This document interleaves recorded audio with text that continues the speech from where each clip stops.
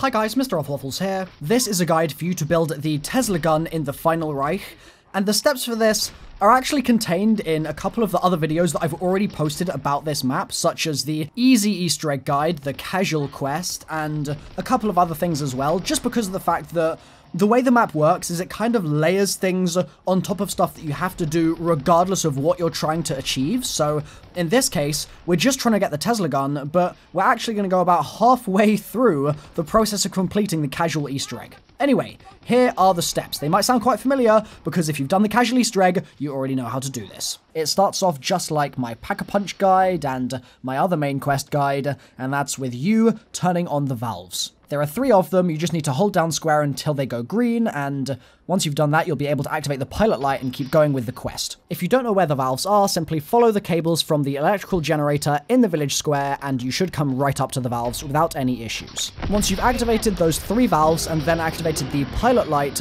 several zombies are going to spawn in, so kill them and then drop into the hole in the village square, then go up the slope that you've just dropped into, and you should see another electrical generator, which you can activate to turn on the power. As soon as that's done, go back up top and open the bunker door for 1250 jolts. Then make your way through the tunnels, and in the command room, which contains the mystery box, you'll be able to find the door to the salt mine, but it's locked, and to open it, we need power power can be accessed via two separate switches that need to be activated within a certain amount of time of one another. So what you're going to want to do is follow me to this first switch and hit it just like I am, and then follow the route that I am running and run all the way through to the switch on the other side of the command room Activate that, and you'll then have power on both switches, and this step will be complete. You can then open the salt mine itself at the door that we pointed out before, head down the slope and watch out for the bomb zombies, and then go into the Emperor's Chamber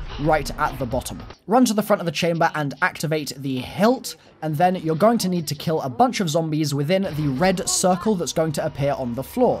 This is the first of many soulbox type steps where you've just got to kill zombies and wait for something to happen. So buckle up, start killing, and once you've completed it, everything in the room should go red. Then, go back up the slope and in the command room, turn the crank on this little device in the middle here, and that should allow the Geistkraft device to raise up into the air. You then need to head up the stairs in the command room and go to the back of this kind of panel. There'll be a red button that you can hit, and that's going to activate the Geistkraft transfer device. It's then going to start working its way around the area, and you're going to want to follow it and fill it with souls. So once again, there's a red circle on the floor, kill zombies in that circle, and they will charge the device itself, and the device will stop once or twice each time it does this, so don't worry about that, just keep filling it with souls, and eventually it will start moving again, and if you lose track of it as well, obviously look for the red circle on the floor, or press your touchpad and you should be able to locate it through the walls because it should be outlined for you.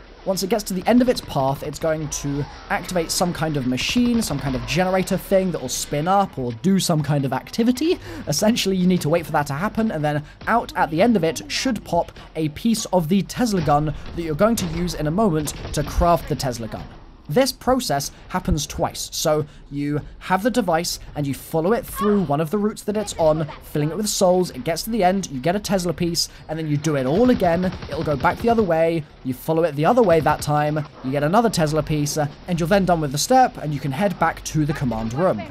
However, when you get back there, there's going to be a big old flame boy waiting to torch you up, so beware. Take your time killing it, it's not a big deal if you want to run away and leave the command room and take it upstairs or something where you've got a bit more space to run around, but kill it, and then go back up the stairs in that room that we were just in, the command room, and voila, you now have a Tesla gun, which you can upgrade if you like into the Midnight or one of the other variants, and you can also do things like the rest of the casual quest, finish the boss fight, get yourself a trophy, all sorts of business, all possible from this jumping off point. But for now, you've got yourself a Tesla gun, congrats. If you do want to upgrade it and get the Midnight or something like that, then there's going to be a link in the top right hand corner of the screen and in the description down below. If this has been useful, guys, please leave a like on the video and subscribe, that's important, and turn on notifications, why the hell not, and I'll see you next time. Bye-bye.